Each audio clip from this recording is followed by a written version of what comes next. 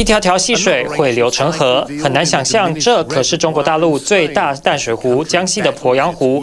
无人机飞越湖面，只见几乎完全干涸景象，湖水面积剩下不到六百平方公里，比丰水期减少超过三千平方公里，创下一九五一年以来最早进入枯水期的记录。甚至有百年不见的佛像，因为干旱重见天日。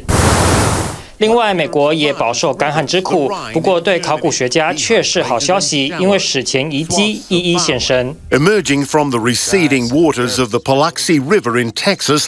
dinosaur tracks thought to be 113 million years old. 另外，在西班牙也有大约七千年前人类堆出的巨石阵遗迹露出来，不过专家担心可能有风蚀危机。It's kind of a double-edged sword because without the river, we wouldn't be able to see them, we wouldn't know they were there.